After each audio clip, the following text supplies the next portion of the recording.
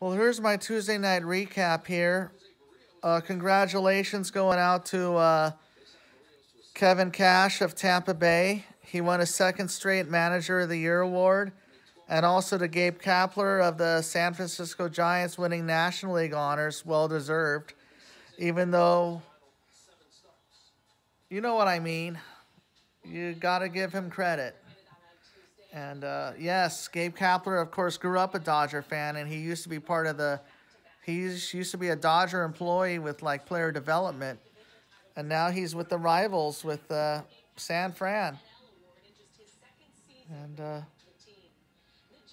yeah, 107 wins for the Giants. All of baseball. Yeah. 74 and a half. Yeah. Overachievement. And uh, then you have uh, Noah Syndergaard sign a one-year deal with the Angels.